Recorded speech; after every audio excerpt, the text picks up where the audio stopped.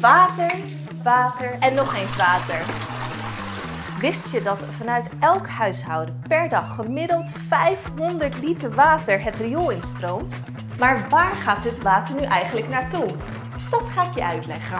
Als eerste gaat het naar het rioolgemaal. Hier wordt het water doorgepompt via de leidingen richting de rioolzuiveringsinstallaties in Marem, Gaarkeuken en Zuidhoorn. Het waterschap zuivert hier het rioolwater tot schoon water. Daarna wordt het afgevoerd. In Marem doen we dat bijvoorbeeld op het dwarsdiep, maar dit wordt anders. Door de nieuwe Europese milieuwetten mag dit water niet meer geloosd worden op het kwetsbare dwarsdiep.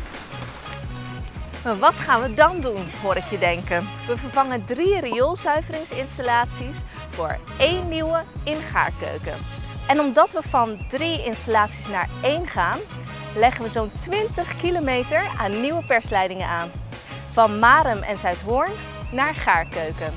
Kortom, schone water en minder overlast voor de hele omgeving. Een zuiver verhaal.